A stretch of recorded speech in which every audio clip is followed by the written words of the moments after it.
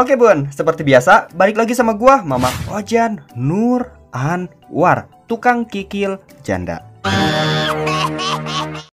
Nah, kebetulan hari ini Bang Ojan lagi gabut banget, mau bayar utang tapi nggak punya utang bun. Jadi ya kita bakalan membahas ukuran jet RAM yang ideal buat HP Android bun. Nah, sebenarnya jet RAM ini itu udah ditanamkan di setiap sistem operasi Android sesuai dengan ukuran dari produsen perangkatnya. Ada yang 1 GB, ada yang 2 GB, ada yang 3 GB, bahkan 4 GB. Tergantung berapa besar ukuran RAM fisik di HP Android kita. Nah, Bang Ojan bakalan bahas secara bertahap, jadi biar kalian kagak linglung bun. Yang pertama adalah apa itu jet RAM. Nah, banyak banget nih pengguna yang salah paham, bahkan sampai terjadi fitnah bun. Mereka menyangka jet RAM itu adalah RAM dan RAM itu adalah jet RAM. Jadi semakin tinggi ukuran jet RAM di saat bermain game itu maka bakalan semakin cepat. Ya, ya iya, cepat mati. Ya karena makin ngelag.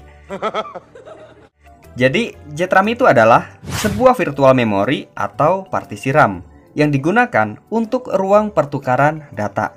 Apa bang yang ditukar? Yang pastinya sih bukan ember otak ditukar sama ciki ya. Yang ditukar itu adalah data dan cache yang kemudian bakalan diproses oleh CPU dan GPU bun. Jadi tugas RAM fisik dan jet RAM ini sama bun. Yang jadi perbedaannya adalah ukuran dan kecepatannya. RAM fisik itu kecepatannya bisa 5 kali lipat dari kecepatan jet RAM tercepat. Nah, monggo bayangin aja sama kalian. Nah kalau misalkan kalian suka sama kontennya atau suka sama si miminnya, jangan lupa tekan tombol subscribe. Oke, kita lanjut. Yang kedua nih, apa fungsi JetRAM? Nah sebagian besar ya, pengguna itu menilai bahwa JetRAM itu untuk mengurangi lag. Sebenarnya nggak salah juga sih, tapi ya sedikit kurang tepat bun. Fungsi utama JetRAM adalah mengurangi pertukaran data dan file di dalam RAM fisik. Jadi ukuran RAM fisik itu bakalan lebih banyak. Berarti bang, kalau misalkan uh, setting jet RAM-nya 100 GB, RAM fisik bakalan kosong dong. Nggak kayak gitu juga Bambang. Jet RAM itu kan RAM virtual atau RAM pembantu.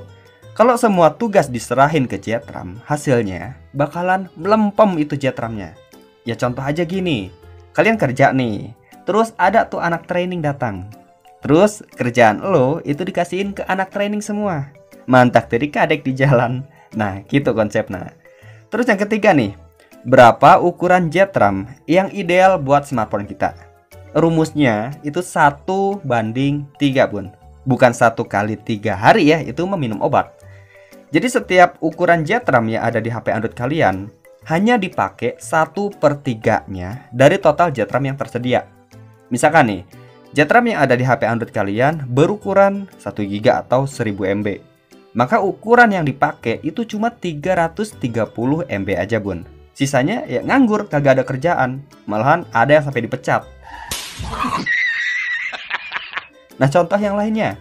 JetRAM yang ada di HP Android kalian itu berukuran 2 GB atau 2000 MB Maka ukuran yang dipakai itu cuma 660 MB aja bun.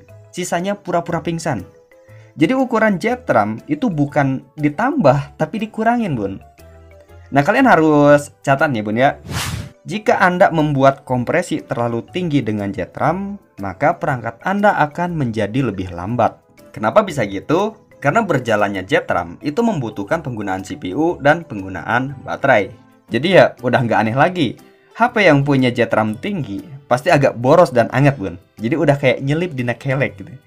Jadi intinya ukuran ideal jet RAM buat smartphone kita adalah 1 banding 3 Nah, buat cara cek ukuran jet RAM itu kalian bisa menggunakan aplikasi atau uh, fitur bawaan dari ROM-nya ya. Tapi kalau misalkan HP Android kalian sudah di root, kalian bisa menggunakan aplikasi terminal emulator atau Termux. Oke, jadi segitu aja informasi yang bisa Bang Ojan bagiin. Ya, semoga aja uh, yang gila jadi waras, yang waras makin waras. Jangan lupa supportnya, Bang Ojannya harus pamit soalnya lagi ngasakan mie. Sampai ketemu di video tahun depan, Bun. Thank you.